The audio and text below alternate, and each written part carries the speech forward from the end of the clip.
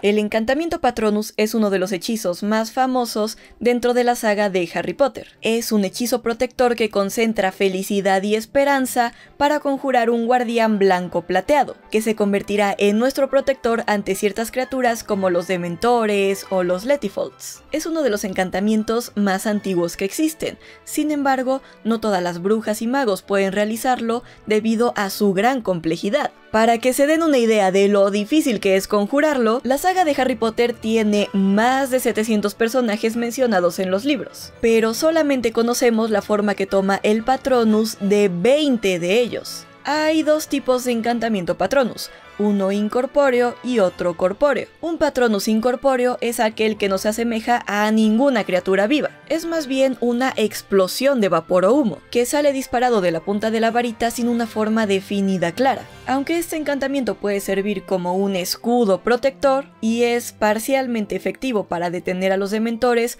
no puede repelerlos por completo. Los patronus incorpóreos no son verdaderos patronus y se asemejan a una versión más débil o primitiva del encantamiento real. Por ejemplo, Neville Longbottom, quien era un mago mucho más talentoso de lo que se cree. Video completo en la tarjeta y en la descripción. Mientras estaba en el ejército de Dumbledore y usando una varita que no lo eligió, aunque practicó muchísimo, no logró que su Patronus tomara una forma definida y se quedó como un Patronus incorpóreo. Por otro lado, un patronus corpóreo es aquel que está completamente formado, tomando la forma específica del animal que mejor refleja la personalidad de cada persona. Lo más fascinante de este encantamiento es justamente la forma que toma este animal guardián, la cual es distinta para cada bruja o mago y refleja los aspectos más profundos de su personalidad, esos que siempre han estado ocultos pero que salen a la luz cuando más se necesitan. Nadie sabe la forma que tomará su Patronus hasta que conjura por primera vez un Patronus corpóreo. Según la bruja Miranda Gouchok en su libro El libro de los hechizos, este guardián por lo general toma la forma del animal con el que se comparte una afinidad muy profunda. Por ello, los Patronus más comunes son aquellos que comparten una gran afinidad con los seres humanos, como los perros, gatos y caballos. También es más común que un Patronus tome la forma de un animal nativo de la región donde viven las brujas y magos, ya que son los animales con los que están más familiarizados. Y ya que sabemos que el encantamiento Patronus revela tanto de la personalidad de cada individuo, pienso que sería muy interesante analizar la forma que toma el Patronus de estos 20 personajes de Harry Potter de los que sí conocemos su Patronus. Y aún más interesante analizar el significado de cada uno de ellos. Aunque sí conocemos oficialmente la forma que toman los patronos de estos personajes, no existe ninguna fuente oficial que nos revele el significado detrás de cada patronos, algo que quiero que tomen mucho en cuenta. Por favor consideren este video como un análisis y una teoría muy personal. No lo tomen como una verdad absoluta, ya que cada persona puede tener su propia interpretación de estos significados, pero aunque no existe información de manera oficial. De todos modos pienso que es muy interesante y que podemos aprender mucho sobre estos personajes a través del animal guardián que mejor los representa. Así que vamos a analizar los patronos de estos 20 personajes para descubrir por qué ese es su animal guardián. Hola seres mágicos, bienvenidos a Maquelarre, yo soy Dani y en esta reunión vamos a descubrir el significado detrás de los patronus de los personajes de Harry Potter. Expecto Patronum. Vamos a empezar con el patronus más famoso de la saga, el de Harry Potter, el que toma la forma de un ciervo. En los libros, la forma del patronus de Harry es muy importante, porque es la misma que la del patronus de su padre, James Potter, quien también era un animago y se transformaba precisamente en un ciervo. En Harry Potter y el prisionero de Azkaban, Harry descubre más sobre sus padres, su sacrificio, sus amigos y la traición que llevó a su muerte. Este es el libro en el que Harry está más conectado con sus padres, sobre todo con su padre James, hasta el punto en el que creyó que su padre iba a llegar a salvarlo de los dementores. Sin embargo, para conjurar su Patronus, Harry tuvo que darse cuenta de que nadie llegaría a salvarlo, que él era lo suficientemente fuerte, valiente y talentoso para salvarse a sí mismo. Esto fue lo que lo llevó a ser uno de los magos más jóvenes en lograr conjurar un encantamiento patronus completamente corpóreo. Etimológicamente la palabra expecto viene del latín y significa yo busco o yo espero, y patronum significa protector, guardián o patrón, lo que en conjunto se traduce como yo espero un guardián. Y eso es precisamente lo que estaba esperando Harry Potter, a su guardián protector. Pero lo más interesante de todo esto es que en latín antiguo, patronus también significa padre, lo que simboliza perfectamente la conexión que tenía Harry Potter con su padre James a través de su patronus. Esto también refleja que su padre lo seguía protegiendo dentro de su corazón, lo que le dio a Harry la fuerza para conjurar su patronus. Las astas del ciervo pueden volver a crecer una vez que se caen, y por esta característica este animal ha sido venerado en muchas tradiciones como un símbolo de regeneración de la vida. Esto se conecta muy bien con Harry y James, ya que de alguna manera el sacrificio de James para proteger a su familia siguió vivo dentro de su hijo Harry, manteniendo viva su memoria. El ciervo también es un símbolo de fuerza, así que una persona que tiene este patronus se caracteriza por su inclinación hacia el heroísmo y la nobleza es un protector que cuida de los demás, brilla en roles de liderazgo y se enorgullece de sus acciones y creencias. Tanto James como Harry, ambos alumnos de Gryffindor, la casa de los valientes y caballerosos, siempre lucharon valientemente por lo que era correcto, y se enfrentaron heroicamente contra Voldemort en múltiples ocasiones. Dentro de la misma familia tenemos a la sierva, que es la forma que tomaba el patronus de Lily Evans, madre de Harry y esposa de James Potter. La sierva es ferozmente protectora con sus seres queridos y tiene una naturaleza cariñosa. Aquellos que tienen ese patronus son personas con un alto nivel de intuición y sensibilidad, que enfrentan los desafíos de la vida con gracia y vigilancia. Son personas muy gentiles, pero con una fuerte determinación tal como Lily, quien a pesar de tener la opción de apartarse y salvar su vida, se sacrificó para proteger a su hijo hasta el último segundo. Este sacrificio conjuró magia muy antigua que protegió a Harry de Voldemort durante toda su vida. Lily logró proteger a su hijo como la sierva protege a sus seres queridos. Como el patrono representa los sentimientos más profundos de una persona y sus deseos más ocultos, su forma también puede cambiar cuando alguien se enamora, sufre una gran pérdida o experimenta un cambio muy profundo en su carácter. Un ejemplo de esto es Severus Snape. Su patronus tomó la misma forma que el de Lily, ya que ella siempre fue la persona a la que amó. La forma de su patronus fue lo único que Albus Dumbledore necesitó para saber que el amor de Severus Snape a Lily era genuino, que nunca murió y que por ella protegería a su hijo Harry Potter a cualquier costo. Y de hecho, la sierva también era perfecta para Snape, porque representa la protección y la determinación, y Snape dedicó el resto de su vida a proteger a Harry Potter en honor a su madre. Otros personajes que compartían la misma forma de Patronus por amor eran Remus Lupin y Ninfadora Tonks. El primer Patronus de Tonks tomaba la forma de un conejo, un animal muy independiente y valiente, que siempre está atento a su entorno y al peligro. Este animal era perfecto para la Aurora Tonks, ya que no le importaba lo que las demás personas pensaran de su actitud, de su estilo o de su color de cabello. Era un alma libre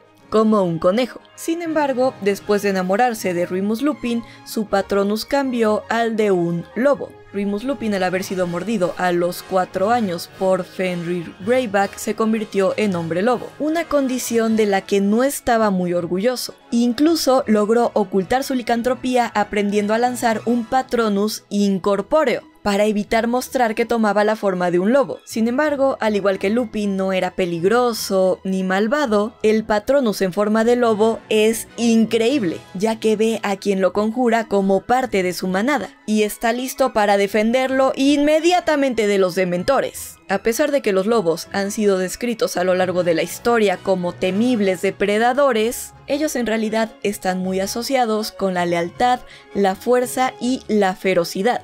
Tanto Lupin como Tonks eran personas extremadamente leales, tenaces y feroces a la hora de defender a sus seres queridos. En algunas culturas el lobo representa la protección y en otras la presencia de un lobo en los sueños simboliza el deseo de libertad e independencia. Esto encaja perfectamente con el deseo de Lupin de liberarse de su licantropía, así como el deseo de Tonks de amar a Lupin a pesar de las opiniones de la sociedad, y en ambos casos de luchar para proteger a su familia. Otros dos personajes que compartían la misma forma de Patronus, pero que a diferencia de Snape y Lily y Tonks y Lupin eran completamente opuestas, y de hecho se odiaban. Eran Dolores Umbridge y Minerva McGonagall. El Patronus de ambas era un gato, el Patronus en forma de gato generalmente representa independencia, gracia e ingenio. Aquellos que tienen este Patronus son autosuficientes, ágiles y adaptables. Son personas independientes, misteriosas y capaces de enfrentar desafíos con aplomo y agilidad.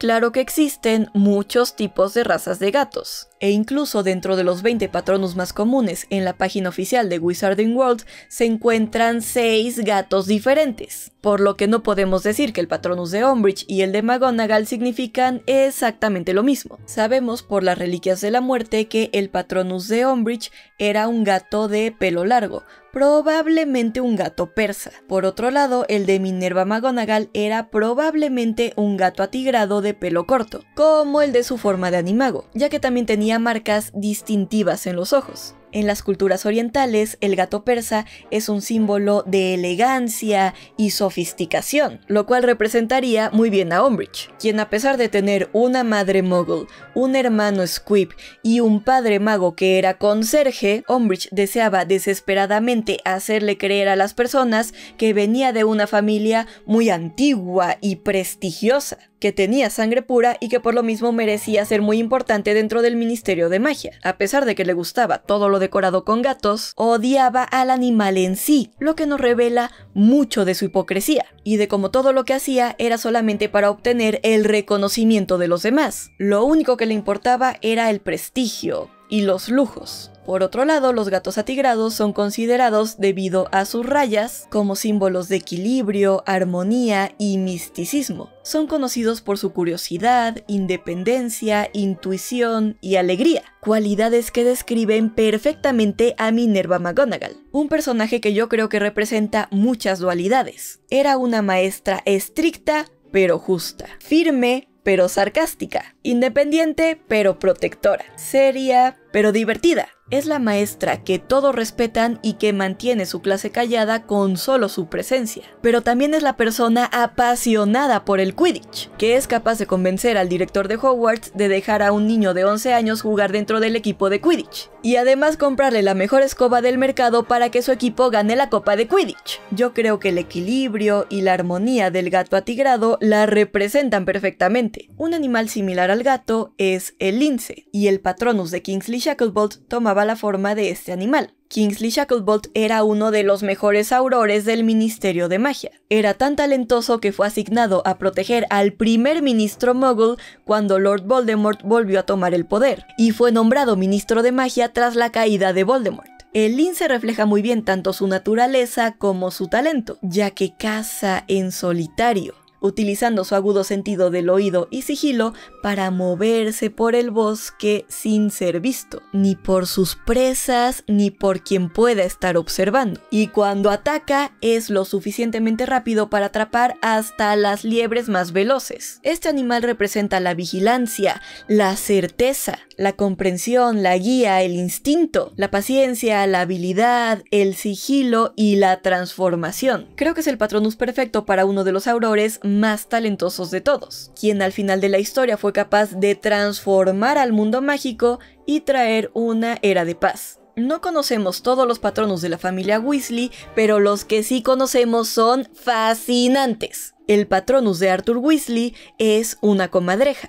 el carnívoro más pequeño del mundo. El apellido Weasley también deriva de la comadreja, que en inglés es whistle. En Gran Bretaña e Irlanda, la comadreja tiene una muy mala reputación. Muchos la consideran un animal desafortunado o incluso malévolo. Sin embargo, más que malvadas, las comadrejas son muy inteligentes y muy traviesas. Es verdad que de lejos parecen lindos roedores que quisieras tener como mascota, pero después resultan ser extremadamente traviesas, debido a su mente rápida y hábil. Pero Arthur Weasley tenía una personalidad muy parecida. Él a primera vista parece ser una persona muy amable y pacífica, pero era muy inteligente e incluso fue capaz de crear lagunas legales para poder encantar un auto y hacerlo volar. Y cuando sus hijos lo utilizaron para crear caos, lo primero que les preguntó fue ¿Cómo les fue? Tampoco se dejaba intimidar por personas más importantes, como cuando se peleó a golpes con Lucius Malfoy dentro de Flourish Bloods. El patronus de Freddy George Weasley es la urraca,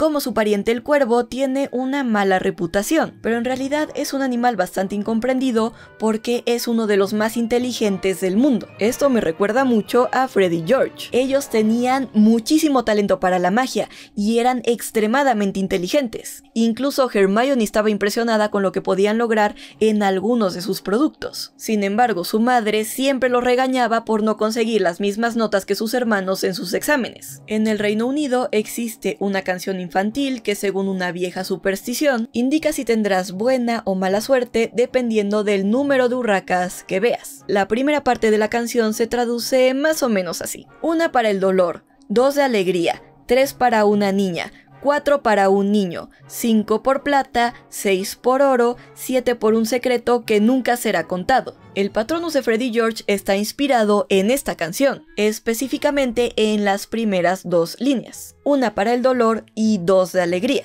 reflejando la alegría que siempre compartían los dos gemelos, y el dolor que uno de ellos sintió por lo sucedido en la batalla de Hogwarts. Pero no quiero que piensen en eso. La urraca es muy hogareña y por lo general nunca se aventura más allá de 10 kilómetros desde su lugar de nacimiento, lo que refleja también el gran amor que le tenían Freddy George Weasley a su familia. También son criaturas muy curiosas, que a menudo vuelan inmediatamente hacia algo que les parece interesante, lo que también refleja la curiosidad de Freddy George a la hora de crear sus productos. Además, tanto las urracas como Freddy George son muy habladores y traviesos.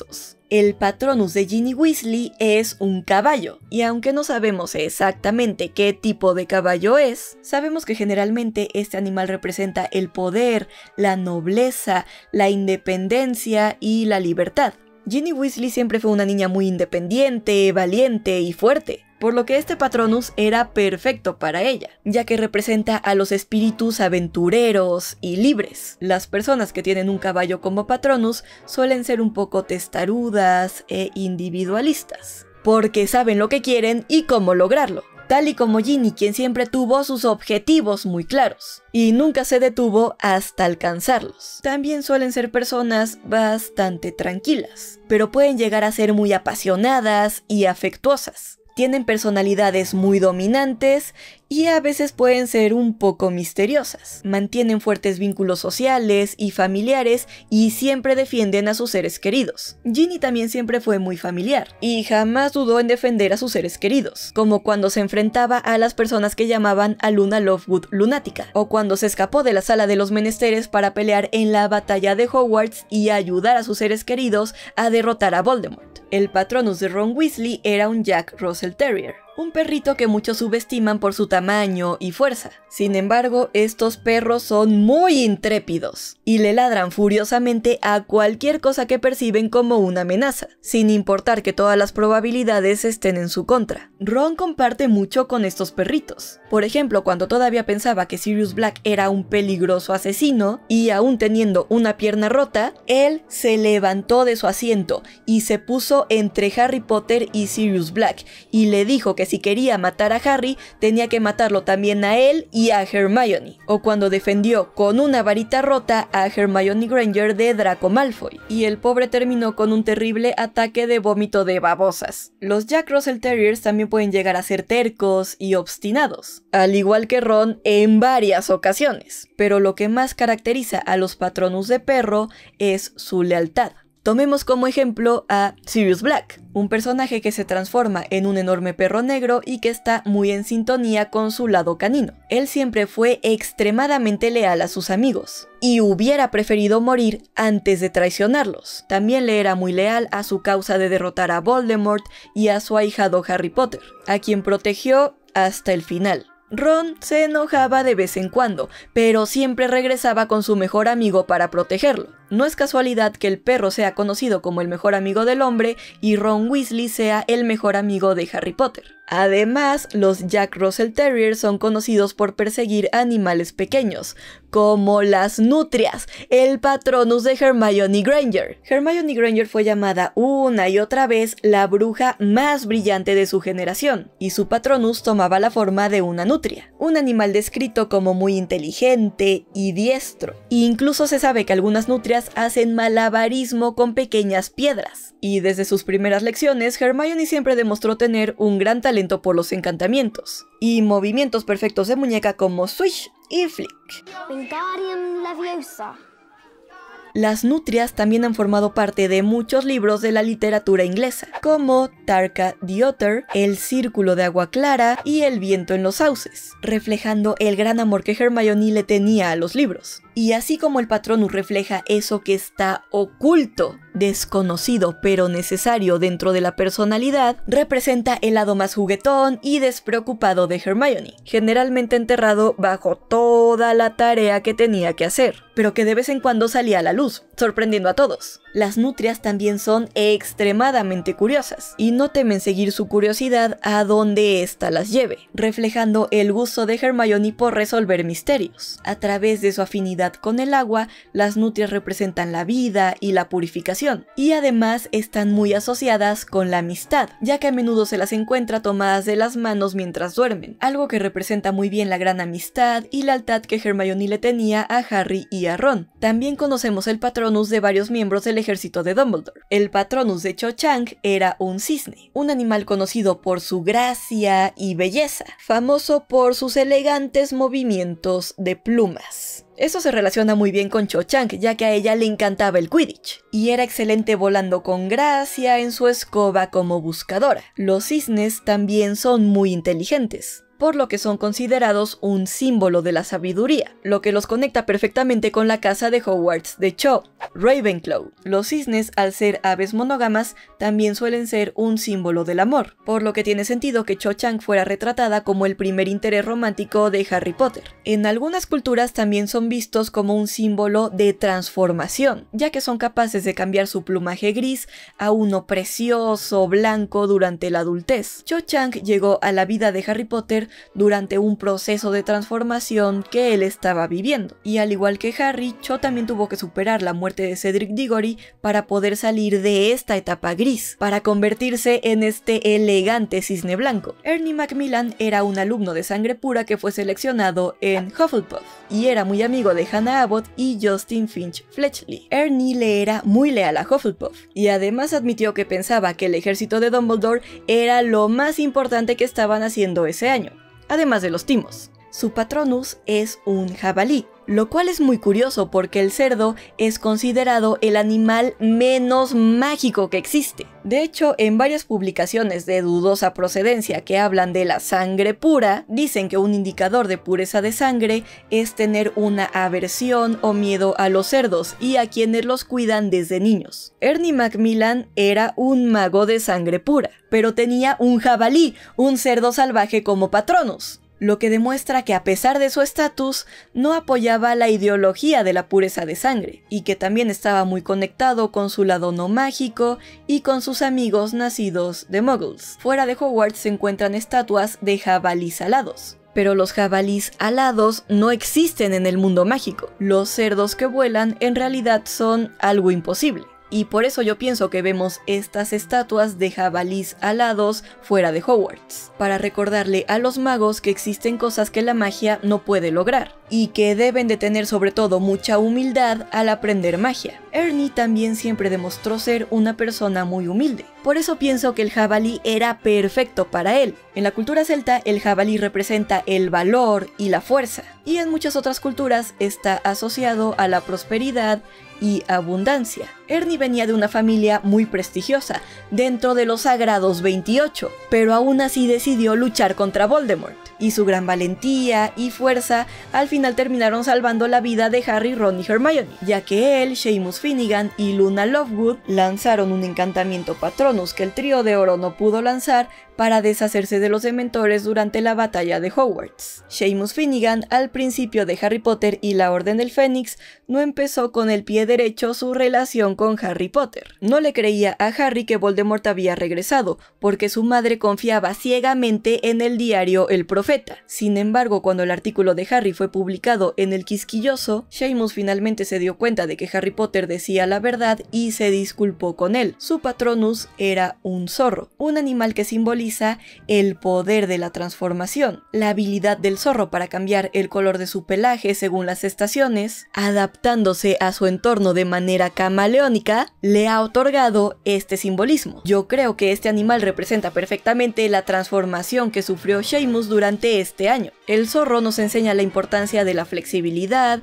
y la capacidad de evolucionar, superando obstáculos y creciendo en sabiduría y conciencia. Además, es un animal muy asociado con la astucia, ya que puede burlar a sus enemigos con estrategia y adaptabilidad, justo como lo hizo Seamus al darse cuenta de que su madre no siempre tenía la razón, y que él era capaz de cambiar de opinión y crear su propio futuro. Luna Lovewood tenía un patronus bastante parecido al de Ninfadora Tonks, el conejo, que representa a los espíritus libres. El patronus de Luna tomaba la forma de una liebre, reflejando también este espíritu libre que ella tenía, ya que nunca le importó lo que las demás personas pensaran de ella. Ella estaba en completa sintonía con sus sentimientos y siempre se sentía muy orgullosa de sí misma. Su nombre también está mucho más relacionado con su patronus de lo que piensan. La liebre tiene una fuerte asociación con la luna desde la antigüedad, siendo la liebre que mira a la luna un símbolo muy importante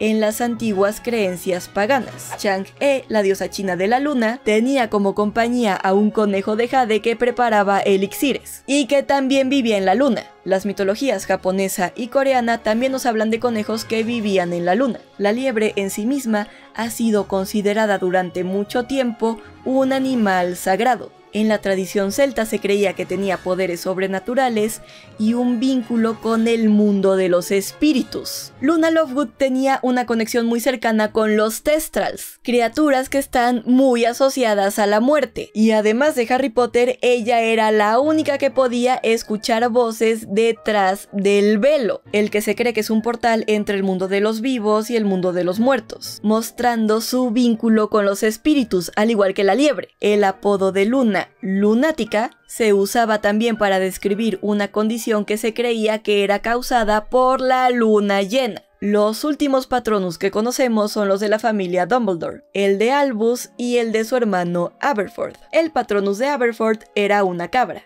un animal con el que tenía una extraña afinidad desde niño. Cuidaba de ellas en Hogsmeade, su cuento favorito de niño era Gruñona la cabra mugrienta e incluso fue procesado por inventar un encantamiento que mantenía limpias a sus cabras y con los cuernos rizados. Aunque en algunas culturas las cabras tienen una reputación muy negativa e incluso están asociadas con el satanismo, en la astrología china se les asocia con la introversión, la creatividad, la honradez y la sinceridad. Creo que esto representa muy bien a Aberforth, ya que siempre fue una persona honrada y sincera, que lo que más quería era cuidar de su hermana y que era visto por la mayoría como alguien muy extraño. La simbología de las tres cabras también ha sido empleada desde tiempos antiguos como un símbolo de la buena suerte. Harry, Ron y Hermione tuvieron mucha suerte cuando Aberforth los rescató de los mortífagos en Hogsmeade y luego los ayudó a regresar a Hogwarts. La cabra también simboliza la esperanza,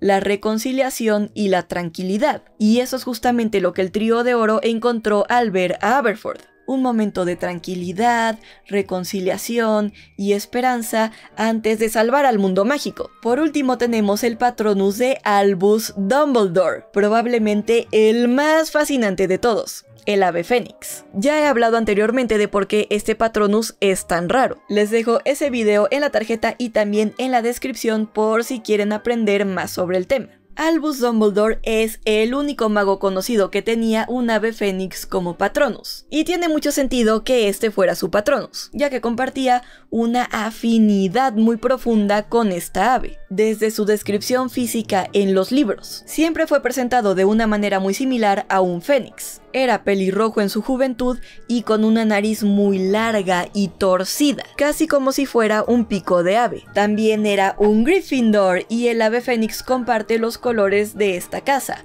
rojo y dorado. Al morir, el ave fénix se prende en fuego, el elemento de la casa Gryffindor, y renace de las cenizas igual que Dumbledore se hacía más fuerte después de cada obstáculo que superaba. El nombre Albus es el masculino de Alba, el nombre gaélico de Escocia y una palabra italiana que significa amanecer. El amanecer puede estar relacionado con el renacer, justamente lo que hacía el Fénix, renacer para vivir un nuevo día. A lo largo de los libros, Dumbledore también demostró tener una fuerte afinidad con los hechizos de fuego, usándolos una y otra vez en los momentos clave de la saga. Las aves fénix además son muy difíciles de domesticar, ya que son conocidas por ser uno de los animales más independientes y distantes del mundo.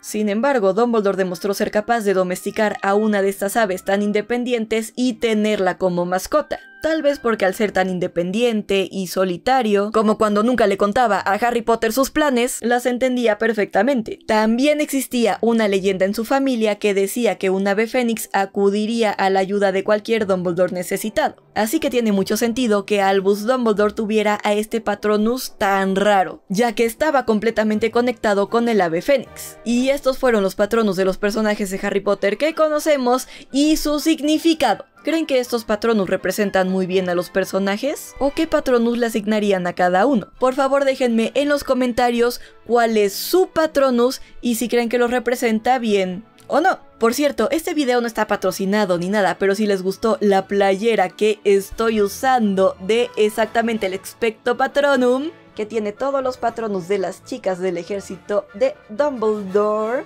FanArmy me dejó para ustedes un código de descuento de 15% para que puedan comprar esta playera o cualquier cosa de su tienda. El código es DANIA15, el que también les dejaré en la descripción para que aprovechen esta oferta. Un regalo muy especial para los que se quedan al final de los videos. Y si les gusta este video, denle un like gigante, suscríbanse a mi canal, prendan la campanita y síganme en mis redes sociales. También ya pueden apoyar mucho más al canal convirtiéndose en miembros en el botón de unirse o con una propina dando clic en el botón de corazón. Y si quieren descubrir cuál es el patronus más raro del mundo mágico, pueden dar clic aquí. Y recuerden, están tan cuerdos como yo. Finite.